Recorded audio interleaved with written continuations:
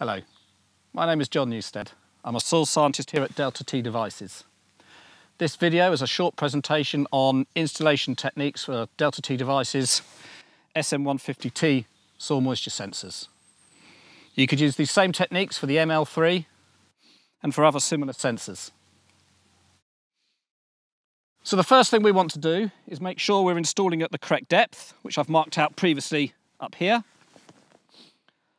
I want to make sure that this sensor is fully inserted into the soil profile. I want these pins fully inserted into undisturbed soil material. It's very important you realise that a reading is taken from here to here, the full length of the pin. Okay, if you only have the sensor buried halfway, so half the pin is exposed, the part that is exposed is measuring air. Air has a very low permittivity and it will pull down your reading. Okay, so you'll get a lower reading than you, would be, than you should be having. So ensure your pin is fully inserted into your soil material. That's the SM150T. So it's very important, once your soil moisture sensor is in your soil profile, that it is secure. You don't want your sensor pulling the pins out of your soil profile because one, you're exposing pin to air and two, the pins will pivot in your soil profile and this is creating air gaps, voids in your soil profile, which will gain, will give you a low reading. So it's very important your sensor is secure in your profile. So today um, I'm going to use an old um, file.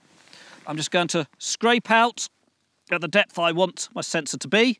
So now we've made our hole. Hopefully it's going to allow this sensor to recess far enough into uh, the soil profile that it will be secure.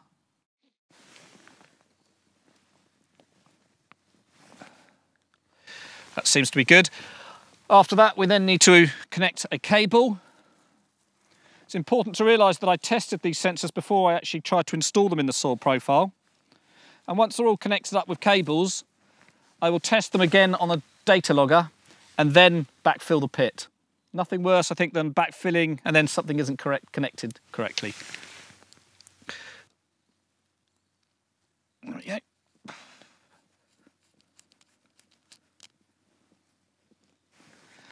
Always make sure that your threads are done up tightly and securely. These are IP68 rated, but they'll only be IP68 if they're done up properly. Okay, so just make sure, done up, nice and secure. Sensor isn't being pulled out, that's great to go. So that's now nice and secure. I've got two other sensors already in this profile. So these are analog sensors. Each one of these extension cables going to a data logger could be up to 100 meters in cable length. Okay, so that's quite a long, decent cable length. I'm obviously going to tie these together um, with some cable ties, neaten them up, and then take them to um, a GP2 data logger